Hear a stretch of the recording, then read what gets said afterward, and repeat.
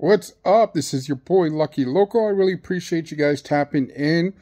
And this the story of uh, Kenny took off like wildfire, man. I really appreciate that. So I got a couple stories. Let's break it down to increments. Okay, so the first chomo that moves into that I started recognizing Kenny's hustle. So Kenny starts moving with these chomos, right?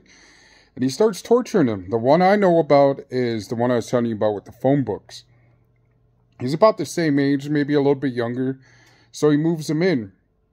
He starts grooming the guy. He starts, you know, telling him, hey, man, you know, all these people know about your charges. And, and pretty much everybody does because when you come through the um, system, it's an inmate that houses you and comes by and puts your name and DOC number on your door. So everybody already knows about your charges. You already in eh, and O. You're coming through, so people are gonna recognize you. And so Kenny gets a breakdown. He gets a hookup, and he he moves in with dude. So like I said, he started torturing the guy. He starts beating him, and like I said, he was you could hear him like thumping the guy. Okay, and this is in South Unit. You could you could hear a little bit, but if you like turn your TV down, it's it's quiet at night you can hear him like just just getting the guy. So the guy's trying to scream, and that's when he started stuffing uh, toilet paper in his mouth. And he said the guy was like, "Oh, I'm having a nightmare." That's why I said the the chomo's worst nightmare. And so he's like, "Oh, stuffing uh, toilet paper down his mouth." And he's like, "Oh, I'm having a nightmare." And, yeah, your worst fucking nightmare, motherfucking bitch. and so he's toying with this guy. He's like it's like cat and mouse, like through the whole like the whole term. So he's making the guy buy stuff. He's making him buy stuff for him. Um, the guy gets like minimal food of like these fifty dollar uh, sacks that are coming through. Uh, he makes him order a TV, makes him order uh, what other coffee pot and all these other little stuff that that you know Kenny doesn't have. So Kenny's over here torturing the guy, beating the crap out of him, but he's using phone books. So he goes and um, the guy's trying to check in, but for some reason these guards aren't really acknowledging this chomo.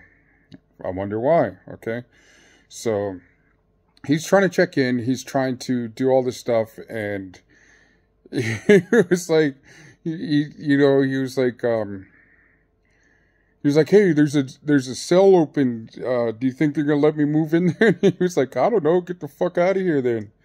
Go see see how it is. Uh, see how long you last with the with other inmates."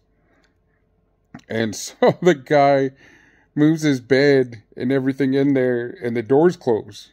Count time. And so these guards come up and they're like, "What the hell? Where's so and so?" I can't remember the chomo's name, nor do I give a shit. But he's like where is this guy? And he's like, I don't know. And then they like put, you know, they start looking around and like, what the hell? What are you doing in this cell? he was like, I wanted to move. You guys won't move me. oh man! So they move him back into Kenny's room. So Kenny beats him some more. torturing this fucking trouble.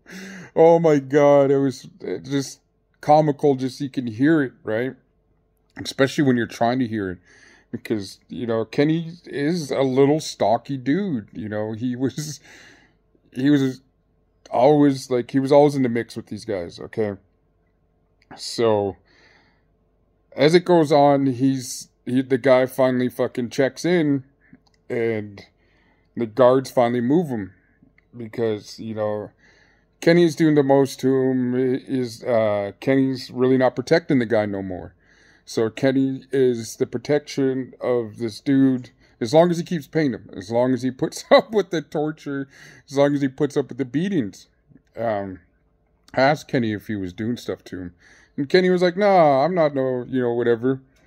He goes, uh, "I just like uh, like beating these dudes up. I like torturing them. I like." You know, I was just like, okay, because I, you know, I just thought Kenny was in there getting his issue too. I was like, man, Kenny, you're not in there you know? But apparently he says no, so. And I didn't hear them type of screams at night, because when you're in prison, you do hear those screams. If when the victim does get victimized in there. And I got a couple stories about them too. But the first one, yeah, he was first one after when I started hanging out with him, he was torturing him, he was beating him with phone books. He was getting the guy.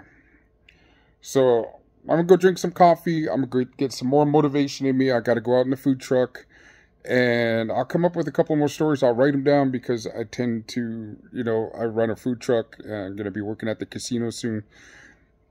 Uh, but I do have one coming up. I'll probably make it right now about uh, justice for a victim in Pueblo, Colorado. So stay tuned, comment. Uh, yeah, let me know uh, if you like, don't like let me know what's going on. If you want to hear some more stories about it and the honest truth of how um, SOs are treated in, in, in the Colorado prison system, let me know.